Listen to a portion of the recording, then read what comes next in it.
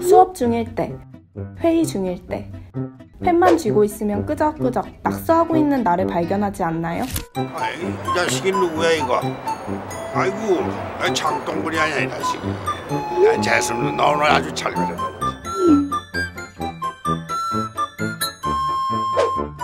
아이, 저 할아버지가 진짜.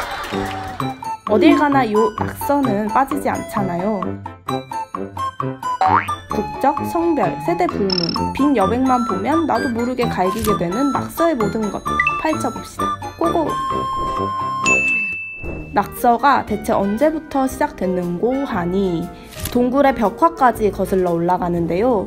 화산 폭발로 도시 전체가 잿더미에 파묻혔던 고대 로마의 도시 폼페이의 잔해에서는 검투사의 대결 장면 등이 그려져 있었어요. 그리고 사회적 발언을 위한 하나의 수단으로 그래피티가 등장하게 되죠. 이렇게 낙서는 점점 예술로 자리를 잡아가는데요. 세계적인 작가 키스 헤링도 거리의 벽면을 도화지 삼아 그림을 그리곤 했대요. 경찰에 수없이 체포되면서도 5년간 5천 점이나 되는 낙서를 남겼죠. 물론 예술이란 이유로 문화재를 훼손해선 안 된다는 거. 많은 사람들이 머문 자리일수록 낙서는 한 사람 한 사람의 자취로 남잖아요. 통일을 염원하며 남긴 글귀는 오늘날의 역사가 되기도 하고요.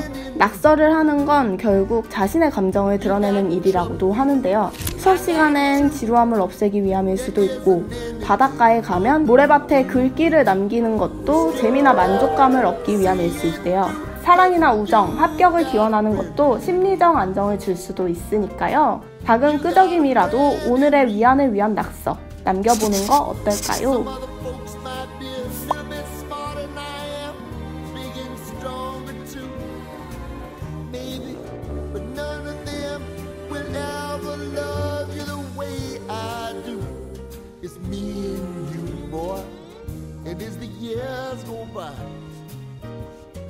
Friendship will never die.